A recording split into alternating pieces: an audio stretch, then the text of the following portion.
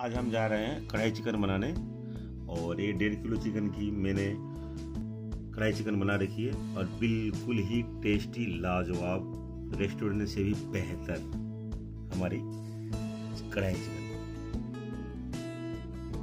और ये one point half kilo हमारी कढ़ाई चिकन।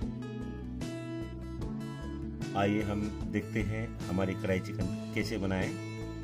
मैं आज ये चिकन ले रखा हूँ एक फुल मुर्गा है हमारा देसी मुर्गा। और मैं कढ़ाई गर, गर्म कर रखा हूँ तो उसके लिए थोड़ा सी मैं धनिया साबुत ले रखा हूँ एक सूखी मिर्ची चार हरी इलायची थोड़ी सी आपकी दालचीनी हाँ दो बड़ी इलायची और चार पाँच आलमंड ले रखा हूँ तीन काजू और थोड़ी सी आपकी काली मिर्च। इसको भी मैं रोस्ट हमारा ड्राई मसाला रोस्ट हो गया है और इसे मैं अभी मिक्सी में लेकर इसे ग्राइंड कर दूँगा। ये देखिए, मैंने मिक्सी में रोस्ट कर दिया है जो मसाला को तो ये आधा मैं इसमें ऐड करूँगा। आधा आधा मैं बचा कर रखा हूँ। इसका टेस्ट हिसाब से मैं इसमें थोड़ा सॉल्ट डाल रहा हूँ। पूरा सॉल्ट नहीं डालूँगा, क्योंकि मुझे प्याज का टाइम में भी मुझे थोड़ा सॉल्ट की ऐड करनी है। ये डाल दिया। वन स्पून के आसपास में मस्टर्ड ऑयल डालूँगा। इसे मैं मैश करके लगभग दो घंटे के आसपास इसे रख लूँगा और इसमें मैं थोड़ी सी आप वन फुल स्पून अदरक लहसुन का कद्दूकस किया हुआ ले रखा हूँ। इसको भी मैं डाल के इसमें मैश कर दूँगा। ये देखिए मैंने चिकन को मैरिनेट करके रख दिया हूँ। उसके बाद इस मसाला में मैंने वन टीस्पून धनिया पाउडर ले रखा हूँ। वन टीस्पून आपका हल्दी पाउडर। और ये वन टीस्पून से थोड़ा सा ज़्यादा मैं चिकन मसाला ले रखा हूँ। ये देखिए हमारा जो चिकन मसाला है, मैं चम्मच में डालकर दिखा रहा हूँ।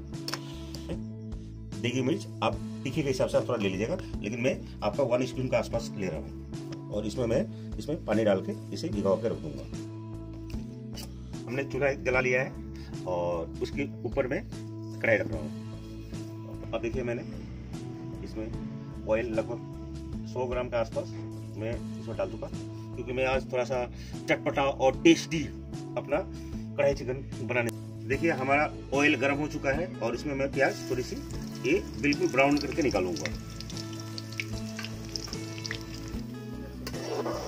ये देखिए, हमारा प्याज बिल्कुल ही रोस्टेड मतलब बिल्कुल ब्राउननेस हो गया है और मैं इसे निकाल के अभी इसमें रख लूँगा इस प्लेट में।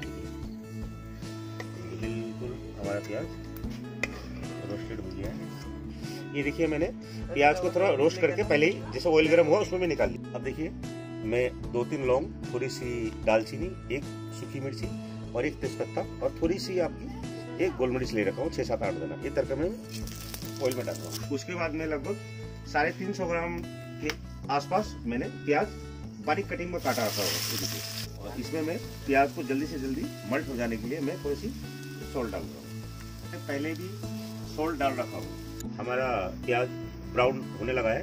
तब मैं एक चम्मच के आसपास अदरक डाल दूँगा और दो चम्मच के आसपास कद्दूकस किया हुआ आपका गार्लिक मतलब लहसुन डाल दूँगा।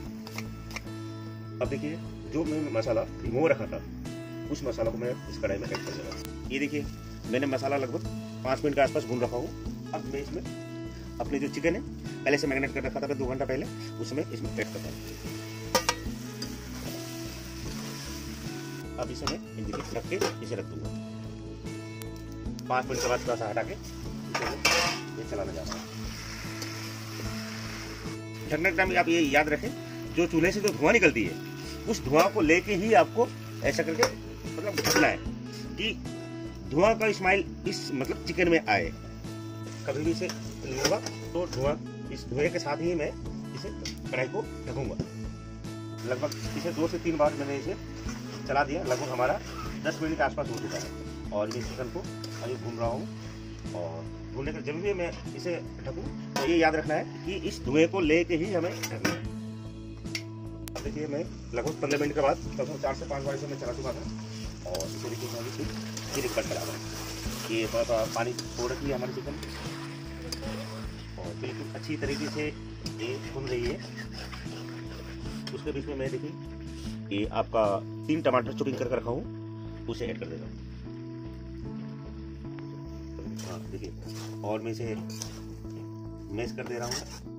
और मैश करके फिर मैं इसे ढक के रखूँगा देखिए मैं फिर इसे हटा रहा हूँ और हमारा मसाला नीचे से चपक रहा है तो इसे भी आपको थोड़ा ध्यान रखना है ये नीचे से जल ना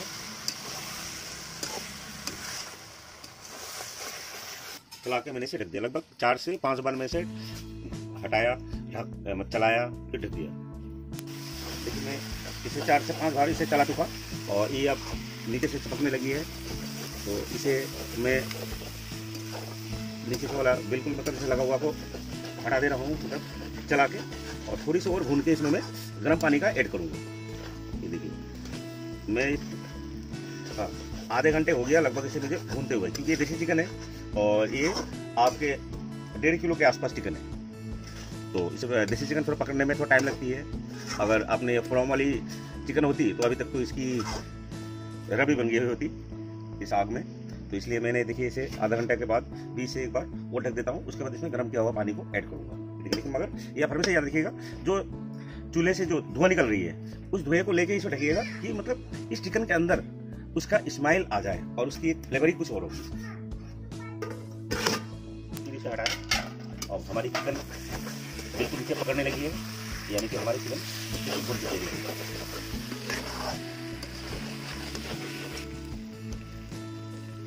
गर्म किया हुआ पानी? आपका ग्रेवी के हिसाब से ये देखिए, मैं इसमें डाल रहा हूँ। एक टी स्पून के आसपास आपका गर्म मसाला का ऐड कर रहा हूँ। जो इसे कंडेज है।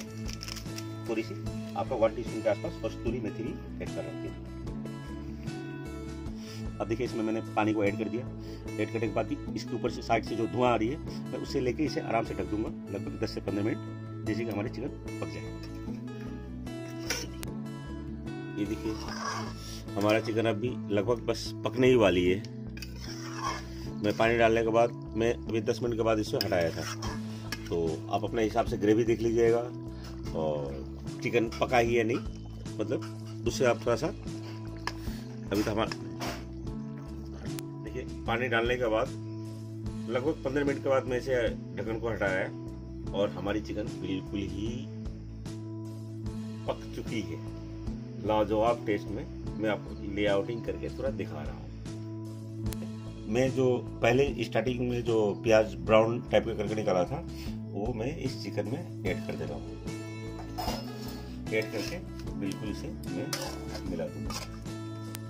आइए, हमारा अब कढ़ाई चिकन बन के तैयार हो चुका है और आप भी बनाइए और घर पे खाइए या अपने गेस्टों को भी बिल्कुल लजीज कढ़ाई चिकन बना के खिलाइए। मन, उनकी मनों को भी जीतिए और हमारा चैनल को भी सब्सक्राइब कीजिए, लाइक कीजिए, शेयर कीजिए।